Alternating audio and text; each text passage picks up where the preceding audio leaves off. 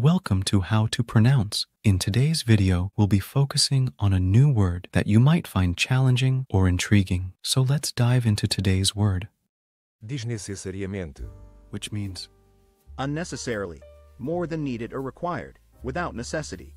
let's say it all together. desnecessariamente, desnecessariamente, desnecessariamente, One more time. Desnecessariamente, desnecessariamente, desnecessariamente. Thank you for joining us on this adventure in pronunciation. Remember, language is a journey, not a destination. Keep exploring, experimenting, and expanding your linguistic horizons. We'll see you next time.